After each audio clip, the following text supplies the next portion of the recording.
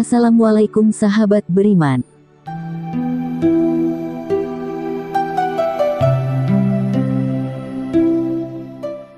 Untuk menjaga dan melestarikan sejarah makam atau petilasan orang-orang soleh yang sudah berjasa di negeri ini, tim kami akan mengajak Anda ke salah satu makam orang yang sangat dihormati semasa hidupnya. Terlebih, beliau pun punya peran besar terhadap kemajuan pembangunan di Kecamatan Cilamaya Wetan Kabupaten Karawang. Seperti apa kisah sejarahnya? Untuk itu, simak terus kisahnya hingga selesai. Dan seperti biasa, bagi yang baru bergabung dengan kami, silahkan klik subscribe dan nyalakan lonceng notifikasinya, agar tidak ketinggalan video baru tentang sejarah selanjutnya.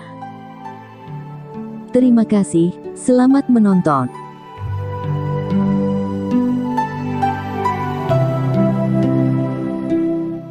Makam keramat yang terletak di Desa Tegalwaru, Kecamatan Cilamaya Wetan, Kabupaten Karawang ini, adalah makam Kibuyut Lurah Surtinem, atau yang bergelar Pangeran Kesumajaya.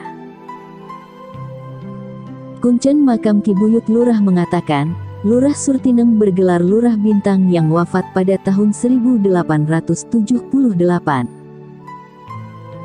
Beliau adalah seorang tokoh besar, dan Kuwu atau kepala desa pertama di desa ini. Lebih dari itu, Kibuyut juga sangat berjasa pada negara. Selain berperang sebagai raja dan panglima, dengan membawa 17 panglima perang Cirebon saat perang Randu melawan Belanda, Kibuyut juga tercatat sebagai figur sentral yang terlibat dalam perang Batavia, berbarengan dengan perang Diponegoro. Kesaktian dan kehebatan beliau semasa hidup terbukti di hadapan pemerintahan Belanda, ketika beliau berhasil mengambil klonengan sebesar kerbau, atau kunci bandul bendungan Barukbuk, yang tenggelam terbawa arus.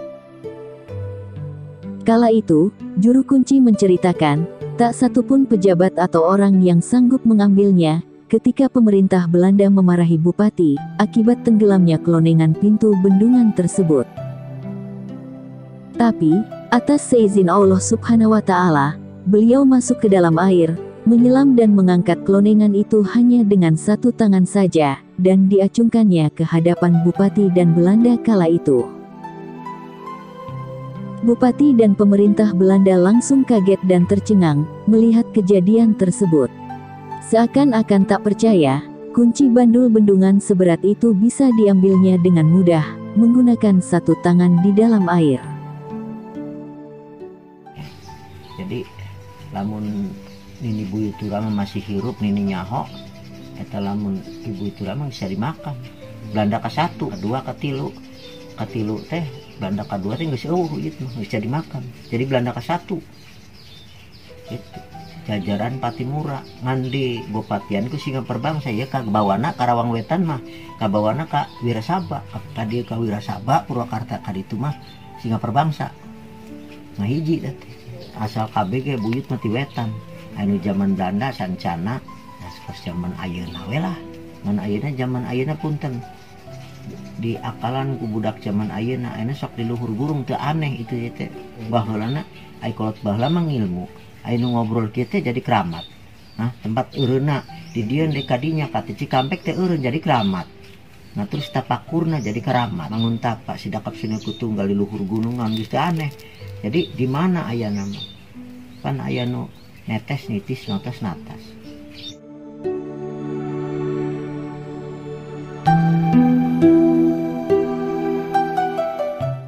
Setiap tanggal 15 Syaban, Lurah pertama Tegalwaru Kecamatan Cilamaya Wetan ini diperingati haulnya. Leluhur dengan nama asli Pangeran Kusuma Jaya bin Sultan Sena Sepuh Jainuddin, wafat pada 15 Ruah tahun 1878 Masehi dengan gelar Lurah Bintang. Lurah pertama desa Tegalwaru yang tercatat berhasil mengangkat klonengan atau kunci bandul sebesar kerbau yang tenggelam di Barukbuk di hadapan Belanda dan Bupati kala itu, diperingati haulnya yang bertepatan dengan hari Nisfu Syahban. Forum Pemuda Dusun Tegalwaru atau Fordaru, melibatkan diri dalam kegiatan tersebut sebagai wujud pelestarian tradisi leluhur. Bahkan selain peringatan Hail Kibuyut, kegiatan tersebut juga diisi dengan santunan anak yatim piatu dan jompo, sedekah tumpeng, doa berjamaah di komplek makam, dan tausiah agama. Kemarin Fordaru turut serta dalam gelaran acara Hail Kibuyut Lurah Surtinem dan santunan anak yatim dan jompo di komplek makam. Jumlah yatim yang kita santuni sebanyak 50 anak, dan jompo 30 orang. Masyarakat Alhamdulillah beramai-ramai hadir mengikuti tawasul dan doa bersama, di halaman makam buyut Lurah Surtinem Komplek Pemakaman Kampung Tegalwaru dengan meriah, hikmat dan khusyuk, kata Ketua Fordaru, Cecep Saipudin. Selain diisi dengan sambutan yang disampaikan Ketua Penyelenggara Ade Fatimah SPD, penyampaian sejarah dan doa juga disampaikan juru kunci makam Yungsilah SPD. Jadi bahwa laman tan ayat tawasulan ke ini mah. Jadi nyari abana datang kalau yang buka iya nak kamari pan. Sudah ke bumi barang jenis pu tak tutup tahun ayah tapi tara tanggapan wayang ya uyut makan kuduna wayang. Jadi digenggemna kurang beragama Pak Imam cepel agama kampung Tegalwaru desa Tegalwaru tapi ke mana-mana nyebutnya karasak wae. Ah, iya. Tegal Sari teh kadinya kemekaran di dia di Tegalwaru. Bahwa teh jadi sebagai desa Tegalwaru kampung Tegalwaru teh. Dia teh nggak jadi ngajabat desa. Bahula jadi ulang lengitkan dia jagona Karawang Hampura iya. Jauh ya teh jagona Karawang. Ki Ageng Surtina Bupatina singa perbangsa. Sumpakna kuda. Jadi lurah gila lurah. Masuk lurah Demang double wakil bupati. Lain lurah di kampung. Duit mah kuda naik nak loba nu nyaho loba. Tapi nu nyaho ga kolot baheula. Anu umurna masih 100 kali itu jadi disebut makam Tegal Waru babakan Banten teh ninggal nak buit Banten heula tak buit Banten belah dinya Banten ngagomplok